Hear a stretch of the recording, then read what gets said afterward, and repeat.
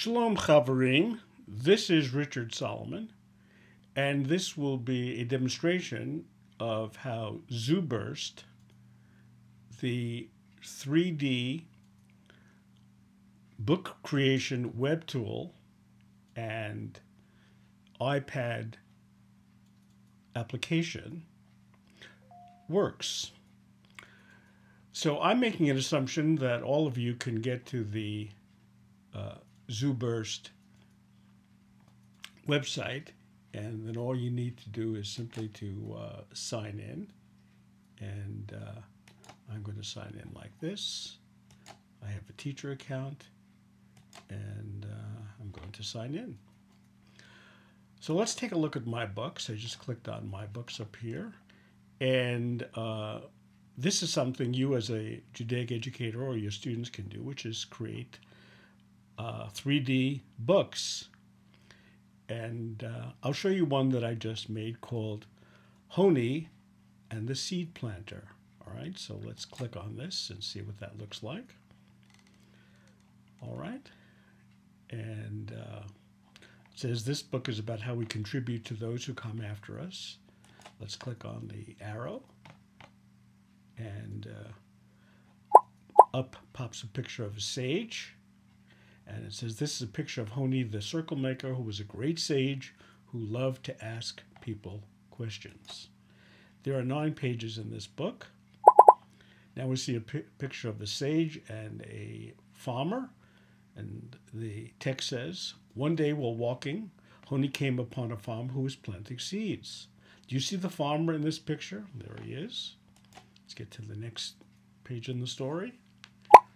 Honi said, What are you doing? The farmer said, I am placing carob seeds in the ground so others may enjoy the fruit of this tree.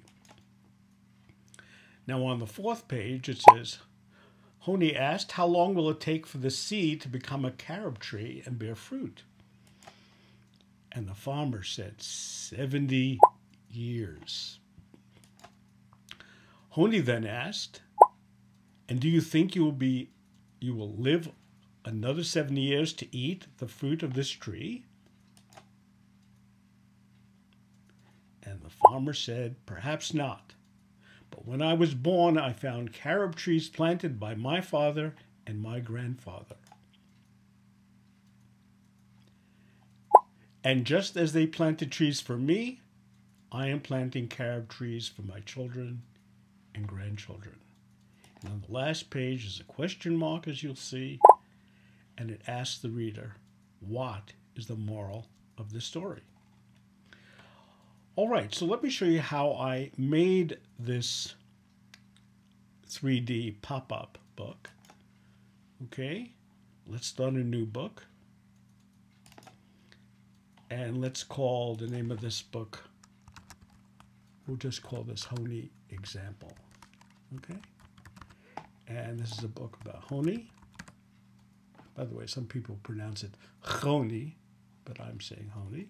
Book is for everyone, and people can com comment on it, and then we hit save. So let me show you how this book works. It starts off with a page and uh, of the book. It looks like this. And the first thing I want to do is upload a picture, but you have other choices. Uh, that you can use. Some of these will cost you to uh, use the library. So I'm doing the free version. So I'm going to upload a picture from my computer of Honi. Okay. And we'll see if we can find that picture.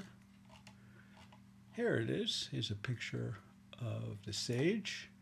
I double click.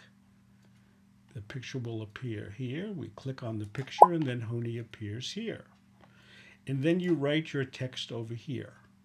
So I'm just going to say, this is a picture of Honi, the circle maker. Oh, okay, we'll say that, the circle maker,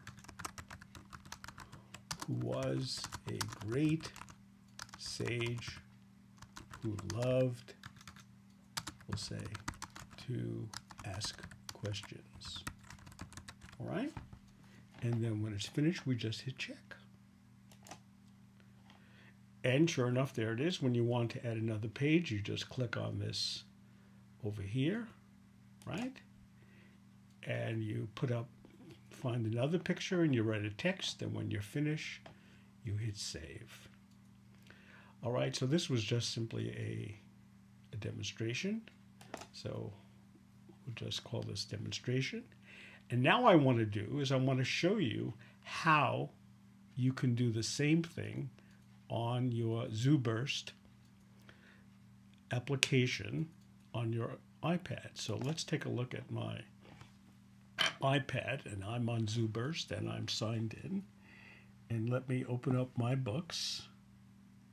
You see, this was the example over here that I just uh, created, but let's look at the one that we have here. Okay, we're looking at it. And you see, this is a picture of Honi, the circle maker, who was a great sage who loved to ask people questions. So this is a picture of the screen on my iPad, and it contains the same story about Honi, the circle maker who was a great sage and loved to pose questions. And this is the story of Honi and the seed planter.